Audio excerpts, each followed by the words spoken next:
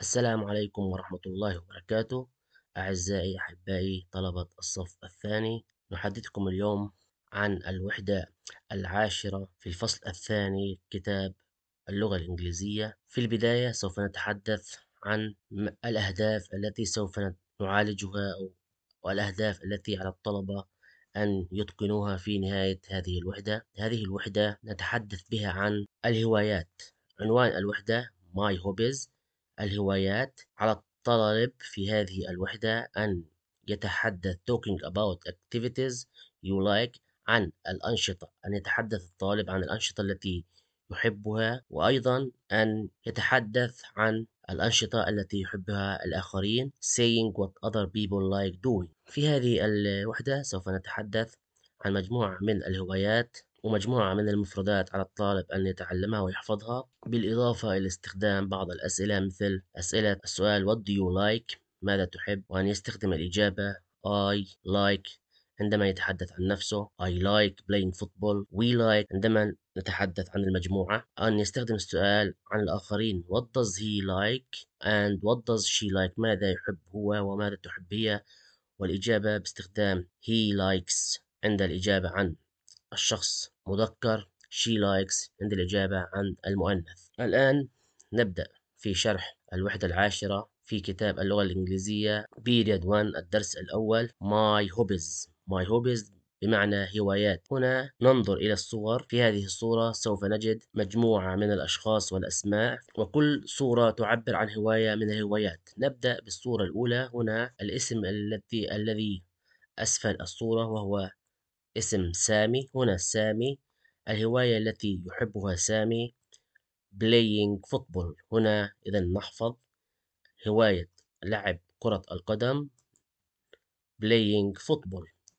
أما بالنسبة للصورة الثانية فهي تتحدث عن هواية الرقص. هنا هواية الرقص تعني dancing. هنا dancing.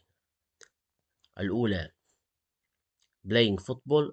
الصورة الثانية تعبر عن هواية الرقص وهي باللغة الإنجليزية معنى الرقص هو dancing. أما الصورة الثالثة تالا هنا تتحدث تالا عن هواية السباحة وهي swimming. هنا swimming. أما الصورة الرابعة هنا الاسم هنا أمير. أمير يعبر عن هواية الرسم وهنا الرسم بمعنى drawing. إذا الصورة الأولى playing football. الصورة الثانية. Dancing الصورة الثالثة. Swimming الصورة الرابعة. Drawing. نأتي الآن للصورة الخامسة. mom mom هنا تعبر عن هواية القراءة. القراءة هنا reading. نحفظ كلمة reading. الصورة السادسة جميلة. هنا جميلة. تعبر عن الغناء. هنا الهواية الغناء. الغناء تعني singing تعني singing والصورة الأخيرة هنا هواية اللعب مع الأصدقاء بمعنى playing with friends. playing with friends هي الهواية الأخيرة. إذا الدرس الأول. في هذا الدرس يوجد سبع صور. كل صورة تعبر عن هواية من الهوايات. على الطالب أن يتحدث عن الصورة والهواية التي تمثلها. إذا الصورة الأولى هنا. الكلمات هنا كما نلاحظ على الشاشة. الأولى playing football. الهواية الأولى الصورة الأولى playing football. الثانية dancing. انظر هنا إلى الكلمات باللون الأحمر. عزيزي الطالب الكلمة الثانية أو الهواية الثانية تعني dancing وهو الرقص. أما الصورة الثالثة هنا swimming. swimming وهي السباحة. أما الصورة الرابعة بمعنى drawing هنا الرسم. والصورة الخامسة reading. reading هنا القراءة. والصورة السادسة singing الغناء. والصورة الأخيرة playing with friends. playing with friends هنا الهواية الأخيرة. إذا مطلوب منك أيها الطالب العزيز أن تحفظ هذه الهوايات وتعبر عنها. هنا نأتي للسؤال الثاني هنا السؤال الثاني. listen and say على الطالب أن يستمع ويتحدث. هنا مطلوب من الطالب أن يسأل السؤال التالي وهو what do you like عندما تقوم بسؤال زميلك أو شخص تريد أن تسأله عن هوايته فتقول له السؤال التالي what do you like ماذا تحب؟ وعند الإجابة عن نفسك إذا أردت الإجابة عن نفسك عزيزي الطالب فتقول I like. تبدأ الإجابة باستخدام I like. I like هنا نستخدم I like للتعبير عن الهواية التي أحبها. إذا أنا أردت الحديث عن نفسي لابد أن أبدأ الإجابة باستخدام I like. السؤال إذن What do you like؟ ماذا تحب؟ الإجابة يجب أن تبدأ باستخدام I like. I like عندما أجيب عن نفسي.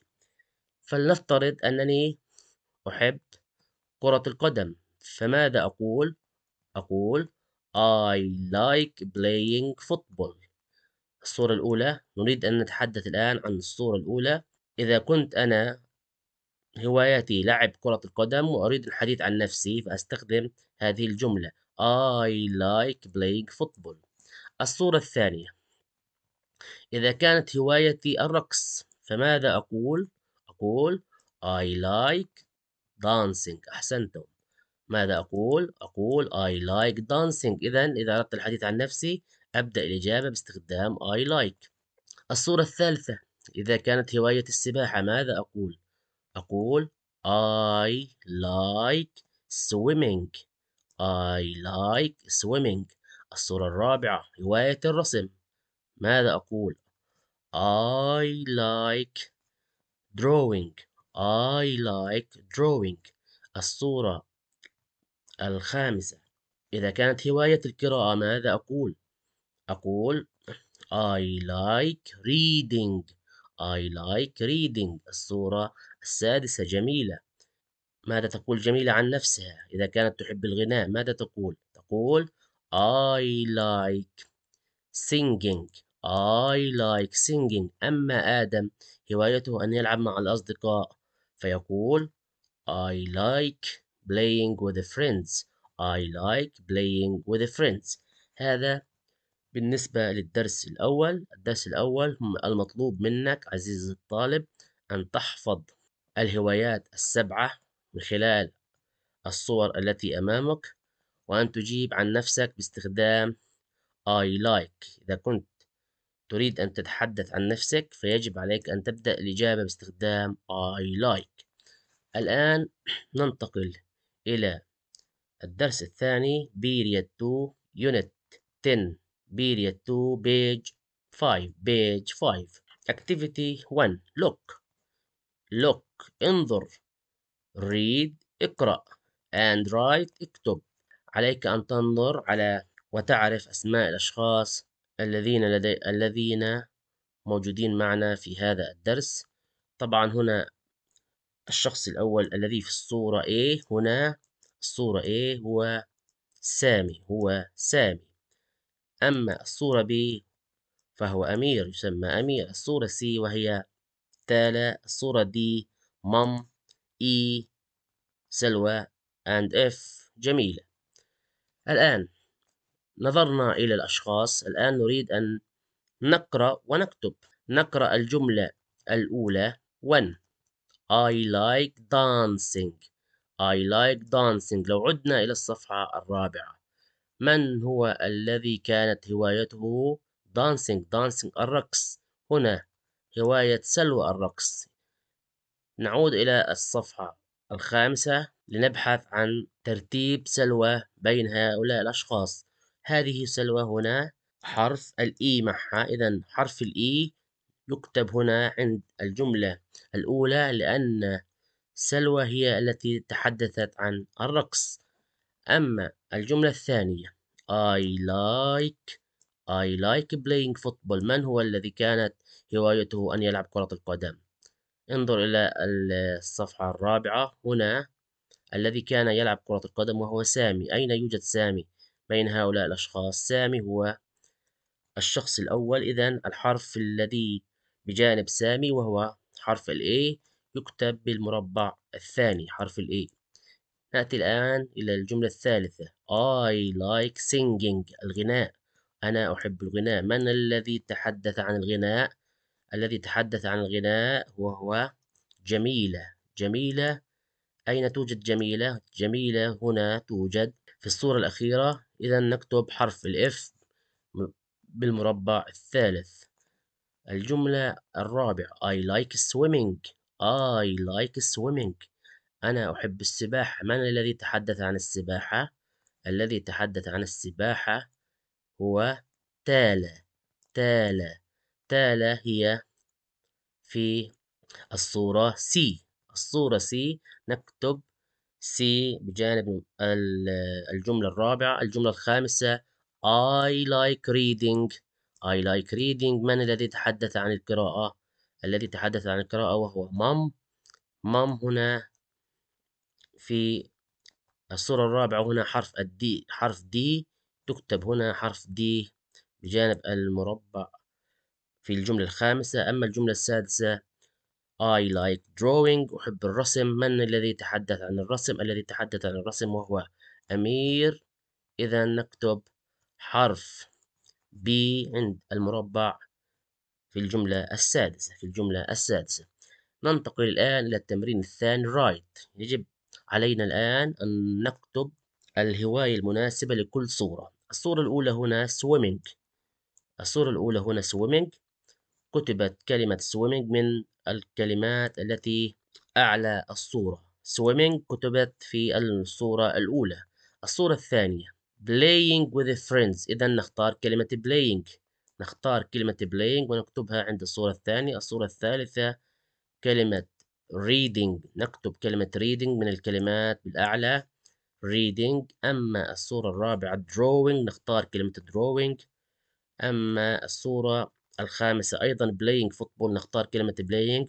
هنا كلمة playing تكررت مرتين. أما الصورة الأخيرة dancing نكتب كلمة dancing عند الصورة السادسة. هنا نهاية الدرس الثاني. ننتقل الآن إلى Unit 10 Period 3 Unit 10 Period 3 الآن هنا نريد أن نتحدث عن شيء مهم وهو استخدام he likes واستخدام she likes.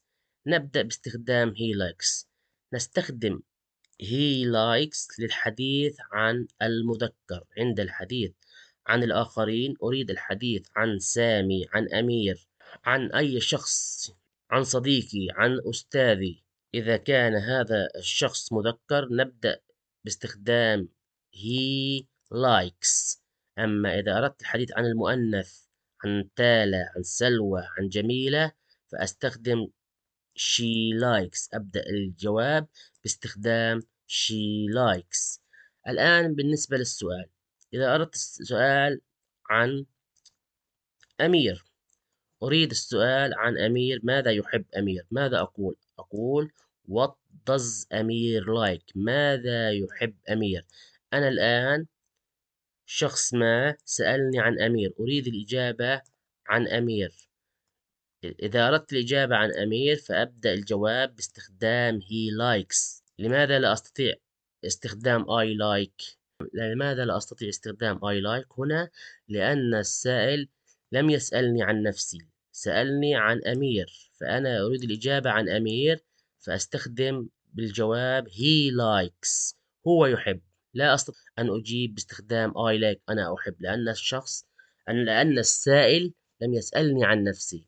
إذا عندما أريد الإجابة عن شخص آخر فأبدأ الجواب باستخدام he likes إذا كان هذا الشخص مذكر. نبدأ بالسؤال الأول.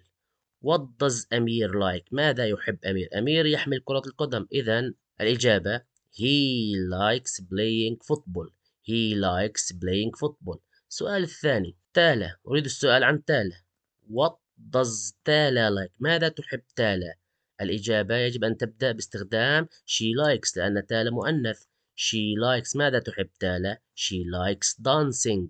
She likes dancing. السؤال الثالث what does سامي like ماذا يحب سامي سامي مذكر. إذا أبدأ الإجابة باستخدام he likes. He likes drawing. هنا يحمل ألوان. إذا he likes drawing يحب الرسم. أما الصورة الرابعة أريد السؤال عن سلوى ماذا أقول؟ does سلوى like. ماذا تحب سلوى؟ الإجابة للمؤنث. كيف تبدأ الإجابة؟ باستخدام she likes. she likes reading. she likes reading. هنا زايد. زايد. what does زايد like. هنا مذكر. إذا أبدأ باستخدام he likes. ماذا يحب زايد؟ He likes singing. يحب الغناء. أما الصورة الأخيرة what does جميلة like? ماذا تحب جميلة؟ أريد الإجابة عن جميلة. أبدأ بالجواب باستخدام she likes. ماذا تحب جميلة؟ تحب السباحة. إذا she likes swimming. She likes swimming. ننتقل الآن إلى الدرس الرابع Unit 10 Period 4 Activity 1 Write Page 7 الصفحة السابعة.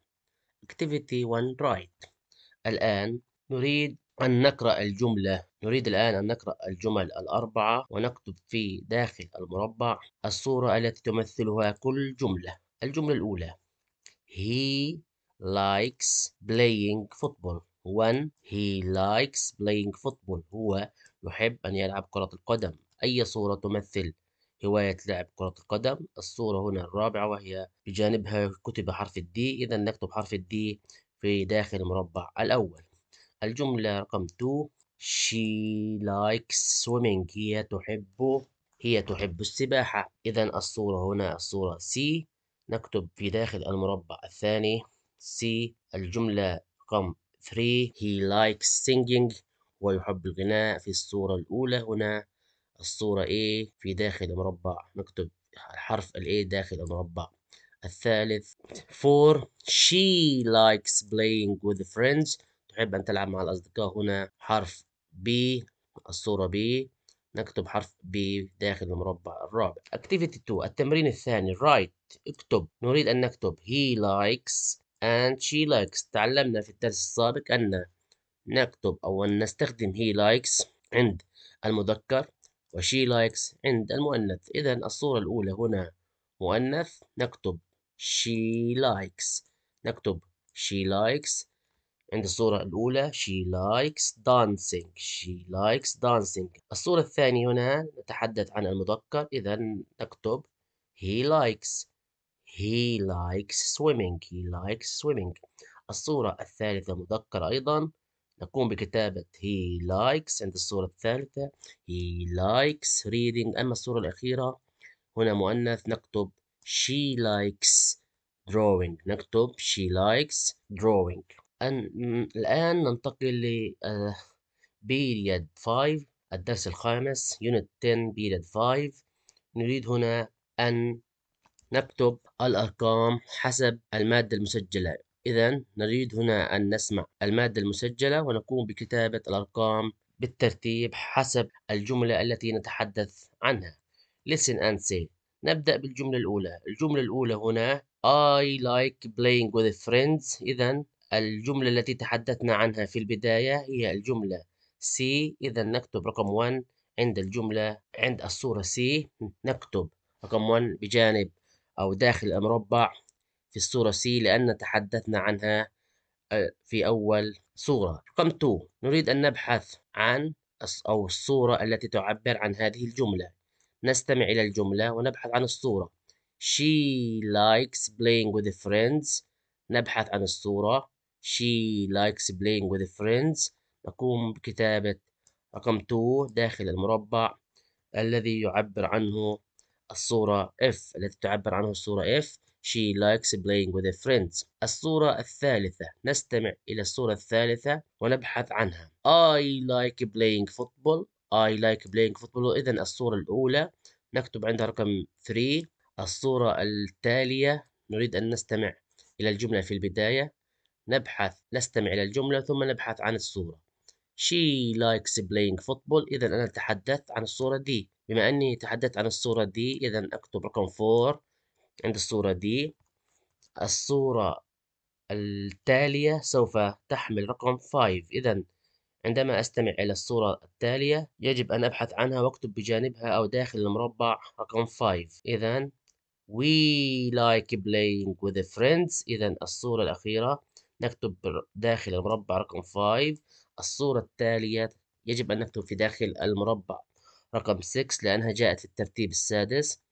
إذا I like swimming. أين الصورة؟ الصورة B. إذا أكتب في المربع رقم 6 والصورة الأخيرة سوف تكون رقم 7 أستمع إلى إلى الجملة بالبداية حتى أبحث عن الصورة المناسبة.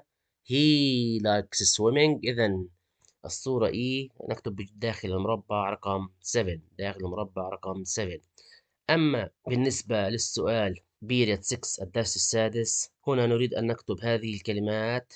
على الأسطر بطريقة صحيحة. نقوم بالنظر إلى بداية الحرف ونهايته. هنا الكلمة ذا إذا نبدأ من السطر الأول حتى السطر الثالث. نقوم بتحديد الحرف والكتابة هنا بنفس الطريقة. نقوم بالنظر إلى الكلمة وكتابتها بنفس الطريقة من بداية السطر الأول حتى السطر الثالث. ذا ثم كلمة this. ثم أيضا كلمة here وكلمة there نقوم بنفس الطريقة بنسخ الكلمة على نفس الأسطر بنفس الطريقة. السؤال الأخير read and circle. هنا نريد أن نضع دائرة على الضمير هنا الضمائر المناسبة. عندنا هنا مجموعة من الضمائر تحدثنا عنها تحدثنا عن الضمير I. قلنا أن الضمير I نستخدمه عندما الحديث عن عندما أريد الحديث عن نفسي. أما الضمير we نستخدمه عندما إذا كنا جماعة. نتحدث عن جماعة we نحن نتحدث عن أنفسنا بشكل جماعي فنستخدم الضمير we. نستخدم he إذا كنا نتحدث عن المذكر ونستخدم she إذا كنا نست... نتحدث عن المؤنث. إذا نريد أن نبحث أن ننظر على الصورة الأولى. هنا سامي يتحدث عن نفسه. هنا شخص واحد يتحدث عن نفسه. إذا كان شخص واحد مفرد يتحدث عن نفسه. فيجب أن نستخدم الضمير I. إذا هنا يوجد لدينا خيارين. نريد أن نقرأ الجملة في البداية. I like playing football or أو الجواب الثاني we like playing football. بما أن هنا شخص مفرد فنختار الضمير I. نضع دائرة على الجواب الأول. الجملة الثانية. She likes singing or we like singing. الجواب الصحيح هو we نحن لأن هنا أكثر من واحد. هنا مجموعة نستخدم we عندما نكون مجموعة. 3 الصورة الثالثة نقرأ الجملة. He likes drawing or she likes drawing. بما أن هنا نتحدث عن مذكر إذا نستخدم he نضع دائرة على he والجملة الأخيرة we like reading أو or الجواب الثاني she likes أو الخيار الثاني she likes reading. إذا نختار دائرة على شي لأنه نتحدث عن مؤنث نتحدث عن مؤنث. إذا الجمل السؤال الأخير read and circle. اقرأ وضع دائرة. هنا كل إجابة يوجد فيها خيارين. نريد أن نختار الخيار الصحيح. هنا اخترنا I لأننا نتحدث عن مفرد يتكلم عن نفسه. هنا اخترنا we لأن هنا مجموعة بمعنى نحن. هنا اخترنا هي لأننا نتحدث عن مذكر واخترنا بالإجابة الأخيرة شي لأننا نتحدث عن مؤنث. هنا نهاية هذه الوحدة. نتمنى أن, أن الشرح قد نال إعجابكم وأتمنى منكم أن تشتركوا في القناة. دعما لنا لنقدم لكم كل جديد. إلى اللقاء في الدرس السابق. إلى اللقاء في الدرس القادم.